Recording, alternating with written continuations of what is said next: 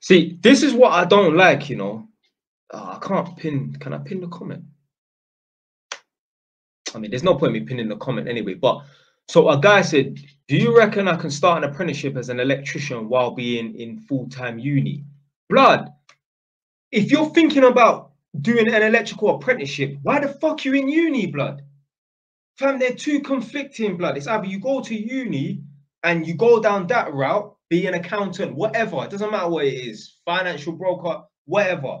Yeah, or you go to trade school and that. You can't do both, blood. Doesn't even make any sense. I had someone else hit me up the other day, you know, talking about they're in uni at the moment, but well, they're, they're kind of in uni. They're not technically going. They're paying someone to do their coursework for them, for them, and um, they want to be an electrician at the same time because they don't really feel the uni thing is, is for them and that.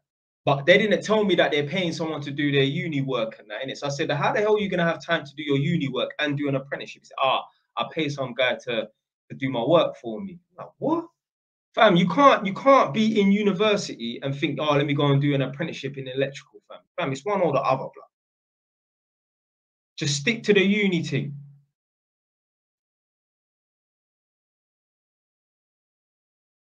You just need to get a job that you're somewhat gonna like, but first and foremost, the most important thing is that it pays you some fucking money. Because even if the job is kind of boring and it's kind of shit, you're getting paid four hundred pound a day, oh, that job becomes real fun.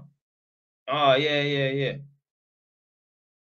yeah, man. You, someone look like they're backing on what I'm saying. You gotta choose one or the other, man. You can't be in university and then doing an apprenticeship at the same time. Blood, they're both they're both full time. You can't have two full time things, blood. You could be in university and then go work with your uncle on a Saturday. That's cool. But you can't be in university and pursuing. How can you have two careers?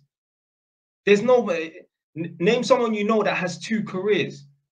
My man's an accountant and he's an electrician at the same time, blood. Nah, fam. I'm not saying that you can't learn you know what I'm saying? You can't learn to do little trades, bits and pieces on the side and that, but blood, nah, man. You need to just focus on one thing. Because what's gonna happen is you're gonna become like them flip-flopping people. You'll do carpentry, do electrical, fuck it, it's not working, do a, sports science. Oh, I don't want to be a PE teacher. Oh, let me go work for CityFibre, let me do local trading, do my local fraud, Bitcoin, crypto on on on on the side yeah, hopefully things will work itself out. Blood, stick to one thing.